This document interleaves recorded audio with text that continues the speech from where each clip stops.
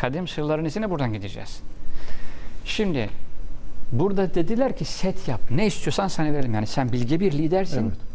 iyi bir insansın. O, o Bizi kurtar. Halkı diyor bunu değil mi? Yecüc Halkı diyorlar. arasına Hani bize bir set çek diyor bunlar. Hiçbir şeyden anlamayan, anlayışı kıt olan bir topluluğu buldum diyor ya. Evet. O topluluk bu topluluk değil. Şikayet ettikleri Yecüc ile Mecüc. Hı hı. Bu topluluktan kurtar bizi diyorlar. Bir set çek aramıza. Ve sen ne istiyorsan ücret sana verelim. Zülkarneyn aleyhisselama şunu demiyor bakın. Bir, bana muhtaç olan bir toplum daha buldum. Hemen onlar üzerinden bir şey satayım, para kazanayım. Adam diyor ki filanca ülke diyor işte 100 yıl önce e, kendisi işte yağdanlık veriyormuş. Mumlan yaksın, ışığından faydalansın diye Evet. gaz ocağı veriyormuş bedavadan. Ama gazını siz ondan alıyorsunuz. Yani size bedavadan bir ürün veriyor. Niye? Seviniyorsunuz Gaz bana ne satabiliyor. güzel bir şey verdi. Yani bana mesela bir kalem satıyorsunuz. Daha doğrusu kalem hediye ediyorsunuz. Çok seviniyorum. Uğur Bey diyorum bana ne kadar değer veriyormuş. Kalem verdi. Mürekkebini Ha, parayla yazmıyor veriyor ama şimdi. e, mürekkebinden çıkarıyormuş. Evet. Zülkarneyn Aleyhisselam bunu yapıyor mu? Yapmıyor. Para istemiyor. Çok ilginç diyor ki قال ما مكني فيه ربي خير فأعينوني بقوة ben sizden bir ücret istemiyorum. Niye? Rabbimin beni içinde bulundurduğu nimet ve kudret sizinkinden üstündür. Siz bana bir şey vermek istiyorsanız beraber yapalım. Hı hı. Evet. Yani beni işçi gibi tutmayın devletimi, gücümü ve kudretimi. Siz de içinde beraber olun. Beraber yapalım diyerek onları onurlandırıyor. Yani gücü ve kuvvetiyle karşıdaki toplumun ihtiyaç duygusunu kullanıp Hı hı. onları kendine muhtaç hale getirmiyor. Diyor ki ben sizden bir şey istemiyorum. Bununla beraber destek verin, beraber set yapalım. Ve diyor ki sizinle onlar arasındaki anlaşmazlığı aşılmaz bir setle bunu çözmüş olalım diyor ve sonra diyor Evet. bana demir kütleleri getirin. Nihayet vadiyi demirle doldurup iki dağın arasını aynı seviyeye getirince ateşi körükleyin dedi. Artık onu kor haline getirdiği vakit getirin bana üzerine bir miktar erimiş bakır dökeyim dedi. Şurası çok önemli. Artık onu ne aşabildiler ne delebildiler. Şimdi İbrahim abi uzaydan insan eliyle yapıldığı gözüken en önemli eserlerden biri olarak bahsederler. Evet. Bizi Çin doğuya yaklaştırır hocam. mısın İbrahim abi? Çin Seddi'ne doğru gelelim arkadaşlar. Çin Seddi'ne. Şimdi. Şimdi burası Çin. Şimdi İbrahim abi bizi bu Çin'de görmüş olduğumuz yerde 360 VR olarak 3 nolu görüntüye götür. Hatta önce bir drone'unu götür. 10 numara drone. İşte burası. Acaba şu dağlar arası çünkü diyor iki dağ arası. Bakın dağlar uygun mu ortam olarak? Uygun. Evet. dağlar arasında yapılmış olan acaba bu setin üstü sonradan inşa edilmiş olan taş yapılar altında gerçekten aslında bulunan işte demir kütleleriyle beraber iki dağın arasına iyice körüklenerek oluşturulmuş olan yapının üzerindeki inşalar mı? Vallahi ben yani şimdi demiri eritiyor hocam ateşle sonra bakır döküyor. Yani bakırlar, kablolar, lehimler benim gözümde öyle şeyler canlandı ya böyle bir teknolojik bir iş canlandı benim gözümde. Şimdi herkes elinde bulunan bilgi dağarcığına göre konuyu yorumlar. Haksız mı? Değil. Allah Azze ve Celle için bütün makro ve mikro alem yaratan kudret için Evet. bunları düşünmek çok kolay. Çünkü Allah Azze ve Celle ona imkanlar veriyor.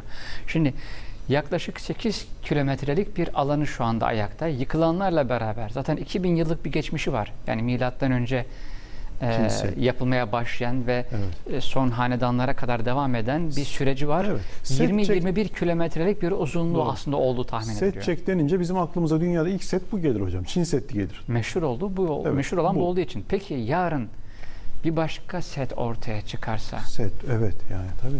peki çıkmayacağının bir alameti var mı? Agnostik değiliz bu arada. Ben mesela şu duvarı merak ediyorum. O set nasıl bir settir? Yani cinler alemiyle insanlar alemi arasındaki set nasıl bir settir acaba? Şöyle düşünelim. Benim göremediğimi Evet. özür dilerim bir köpek görebiliyor. Allah'ın onun göz yapısına vermiş olduğu bazı şeyler var. Mesela ezan okunurken bazen e, beni affedin bazı köpeklerin uluduğunu duyursun, duyarsınız. Hı hı. Çünkü mikrofonla okuduğumuz zaman o ince ses tınısı onun kulağını çok rahatsız eder. Beni pek rahatsız etmez halbuki. Evet. Tabii. Mikrofonsuz okuduğunuz zaman o kadar tepki vermez. Yani onun kulağındaki Tiz ses sesler. algısı. Her Ya da mesela bir hayvanın, bir koyunun bir mezarlığın yanındaki göstermiş olduğu sakin yapı, tavır farklı. Sanki acaba mezardakilerin o sesleri bizim duyamadığımız, işitsel olarak algılayamadığımız, şu anda bir sürü mesela burada ışıklandırma var. E, cep telefonumuzdan, Wi-Fi'den, buradaki yayın akışından kaynaklı burada bir sürü ultraviyole ışın var. Görebiliyor muyuz? Sağ beynin sol beyinden farklı algılaması vesaire diyorlar. Yani bireysel olarak, insan ırkı olarak aynı resme baktığımızda farklı görüp yorumlayabiliyoruz. Şimdi bir de 360 bir yer olarak görelim. 3 nolu görüntüyle İbrahim abi. Yorumluyoruz, algılamaya ve anlamaya çalışıyoruz. Bakın eski setten kalmış olan yapılar. Koskocaman uzun bir alan. O muhteşem kuvvetle ve kudretle acaba bazı rivayetlerde geçtiği üzere Süleyman Aleyhisselam'da olduğu gibi cinleri çalıştırıp da emrinde bulundurmuş mudur? Ve acaba yaşamış olduğu zaman bazı rivayetlerde geçiyor. Taberi'nin kebirinde görüyoruz. Salebi'de görüyoruz. İbnül Eser'in El Kamil isimli eserinde görüyoruz. Hazreti Zülkarneyn Aleyhisselam'la alakalı üç tane e, teze denk geldim. İki tanesi yüksek lisans, bir tanesi doktora tezi. Ne diyor, ne diyorlar hocam? buna? Mesela orada bu rivayetleri topluyorlar. Bilimsel bir makale gibi olduğu için tezler. Evet. Tek tek sıraladığı zaman şöyle yorumlar da çıkıyor. Mesela diyor ki Hızır Aleyhisselam'la beraberdi Zülkarneyn Aleyhisselam. Hızır Aleyhisselam da Hazreti Musa ile beraberdi ama Hazreti Musa'dan çok daha önceden beri yaşamaktaydı. Çünkü o ölümsüzlük suyunu, ağabey hayatı bulmuştu.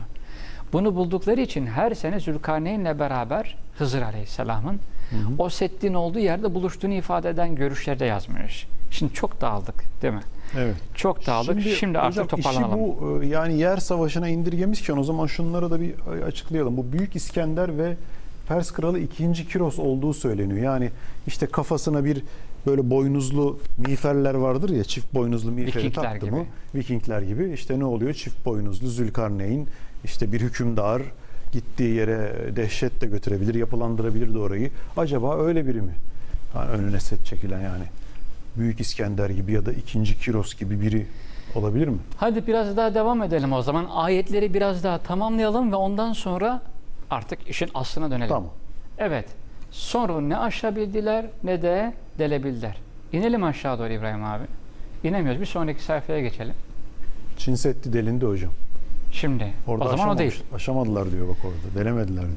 Zülkarneyn ne dedi? Hâzâ rahmetun min Rabbi. Bu çok muhteşem. Şimdi bir kudret veriyor Allah size. Evet. O kudretle en batıya gidip adaleti uyguluyorsunuz. En doğuya gidip merhameti uyguluyorsunuz. Bir başka yere gittiğiniz zaman sizden yardım isteyen bir topluluk var. Bir bedel. Allah için güç ve iktidarınızla onları sahipleniyorsunuz. Başarılı oluyorsunuz. Zalimlerin üstesinden geliyorsunuz. Ve sizden beklenen belki şu. Evet, alkış alabiliriz. Herkes benim sayemde kurtuldu. Ben olmasaydım hiçbir şey olmazdı. Her şeyin sahibi benim. Bir ego, bir kibir, bir narsistlik. Evet. Ben olmasaydım hiçbir şey olmazdı. Var mı? Şu Yok. andaki şu muhteşem bir şey. Bütün liderlere, bütün idarecilere, hocalardan amirlere, aklınıza kim geliyorsa, bu benden değil, bu Rabbimden bir rahmettir. Fakat Rabbimin vaadi gelince o bunu yerle bir eder. Rabbimin vaadi haktır. Evet ben Zülkarneyn olarak Allah'ın emrine ittiba ederek, sorumluluklarımı yerine getirerek setti yaptım. Ey halk sizin kurtulmanıza vesile oldum ama bir vakit gelecek ki o vakit bak Rabbimin vaadi diyor. Hı hı. Ne zaman bu? Kıyamet alametleri programımızı mutlaka izleyin. Orada anlatıyoruz detaylı. O vaat, kıyamet alametleri olduğu zaman Rabbim onu yerle bir edecek. Rabbimin vaadi haktır. O zaman bakın zaten direkt kıyamete bağlıyor ondan sonra. Neyi yerle bir edecek diyor hocam? Bunu Seddi. Seddi. Ha. Ya Ecüc ile o set her neyse set evet, yıkılacak. bunu yerle bir edecek. Sonra kıyamet meydan şey kıyamet yaklaşacak. Sonra kıyamet koptuğunda biz onları birbirine çarparak çalkalanır bir halde bırakmışızdır. Suru da üfürülmüş. Böylece onları bütünüyle bir araya getirmişizdir diye kıla, kıyametle alakalı ayetler devam edecek. Yani kıyamet öncesinde Ye'cüc ile Mecüc bu setti yıkacak ve arenaya çıkacak. E, Hadi demek bunu- ki hocam Zülkarneyn o zaman kıyamet öncesi bir e, şey mi bir e, varlık mı? Zülkarneyn aleyhisselam bir salih kişi. Şimdi kesin bilgileri geçiyoruz. İsrailiyattan aramış bir şekilde. Kesin bir salih kişi. Mutlak anlamda Allah'ın emriyle hareket eden muvahhid, mümin bir Müslüman ama çok önceden yaşamış.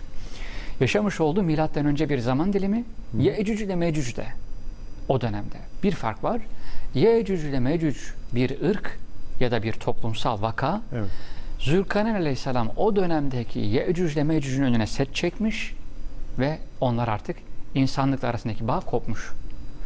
Kıyamete doğru Zülkarneyn aleyhisselam bitti. O artık Rabbine döndü. Diğer Hmm. peygamberlerin vefat Yani ettiği gibi. kıyamet öncesi habercisi değildi Zülkarneyn o zaman.